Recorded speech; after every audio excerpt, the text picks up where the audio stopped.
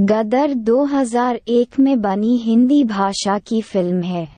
इस फ़िल्म का निर्देशन अनिल शर्मा ने और निर्माण नितिन केनी ने किया था। इसमें सनी देओल अमीशा पटेल और अमरीश पुरी मुख्य किरदार निभा रहे हैं। इस फ़िल्म को 15 जून 2001 को सिनेमाघरों में पहली बार दिखाया गया।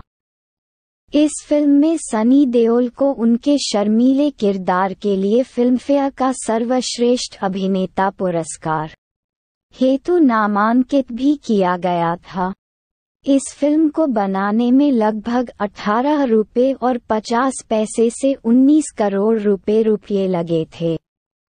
फ़िल्म के प्रदर्शित होने के बाद ये भारत की सबसे सफल फ़िल्मों में से एक बन गई और उस समय की सबसे ज़्यादा देखे जाने वाली दूसरी हिंदी फ़िल्म भी बन गई। इस फ़िल्म ने कुल अठहत्तर करोड़ रुपए रुपये की कमाई की थी। Gadar two the Katha continues नामक एक सीक्वल निर्माणाधीन है और 11 अगस्त 2023 को रिलीज़ होने वाली है। ये तारा सिंह, सनी देओल और सकीना अमीशा पटेल की प्रेम कहानी है।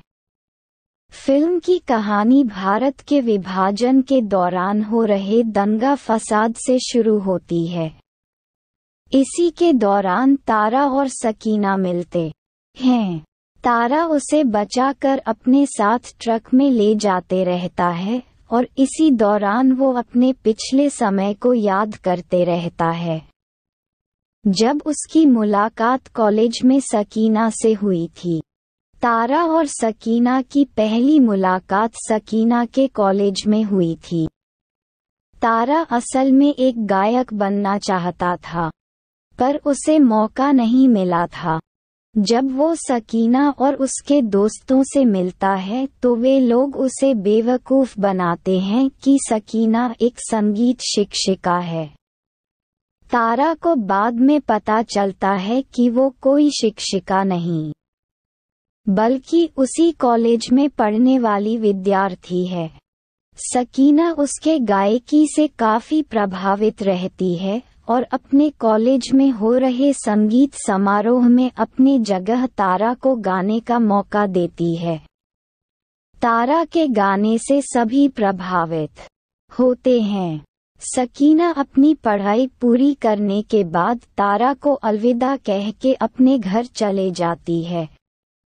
वर्तमान समय में तारा उसे अपने घर ले आता है और उसे किसी तरह उसके अपने घर भेजने के बारे में सोचने लगता है।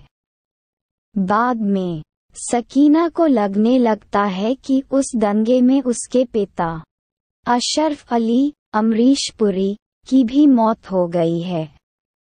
बाद में धीरे धीरे सकीना और तारा एक दूसरे से प्यार करने लगते हैं और दोनों शादी कर लेते हैं।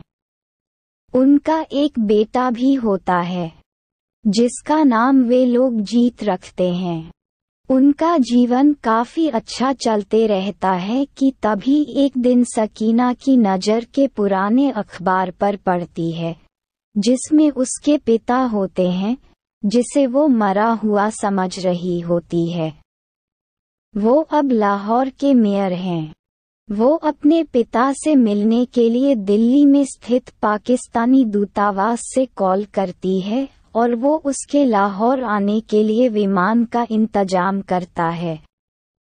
हालाँकि तारा और उनका बेटा भी साथ में जाने वाले होते हैं। लेकिन वीज़ा की परेशानी के कारण सिर्फ़ सकीना ही जाती है। वहाँ जाने के बाद जब सकीना वापस आने की बात कहती है तो उसके माता पिता मना कर देते हैं, जिससे सकीना का दिल टूट जाता है। सकीना के पिता उसकी जबरन दूसरी शादी कराने की कोशिश करते हैं। इसी बीच तारा और उसका बेटा पाकिस्तान में गैर कानूनी रूप से अंदर आ जाते हैं। उन्हें पता चलता है कि सकीना की शादी होने वाली है। वे लोग उस जगह पर आ जाते हैं और एक दूसरे से मिल जाते हैं। सकीना के पिता उसके सामने दो शर्त रखते हैं कि उसे पाकिस्तान की नागरिकता लेनी होगी और इस्लाम में परिवर्तित होना पड़ेगा।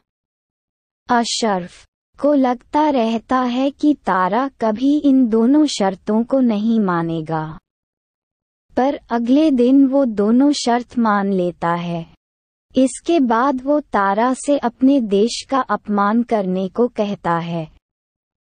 ताकि पता चल सके कि वो सच्चा पाकिस्तानी है। तारा इससे गुस्से में आ जाता है और अशरफ द्वारा नियुक्त किए हुए हमलावर, जो उसे मारने वाला होता है, उसे मार देता है। वे तीनों उस जगह से भाग जाते हैं और एक जगह छुप जाते हैं। उन तीनों को ट्रेन मिल जाता है, जो भारत जाने वाला होता है। वे लोग उसी ट्रेन में बैठ जाते हैं। जब अशरफ को ये बात पता चलती है तो वो कुछ लोगों के साथ उन्हें रोकने आ जाता है। इसी दौरान सकीना को उसके पिता की गोली लग जाती है। अस्पताल में, सकीना कोमा में चले जाती है। जब उसे वापस होश आता है तो फ़िल्म में दिखाया जाता है कि अशरफ अपने नाती और तारा को स्वीकार कर लेता है, और वे लोग वापस भारत लौट जाते हैं।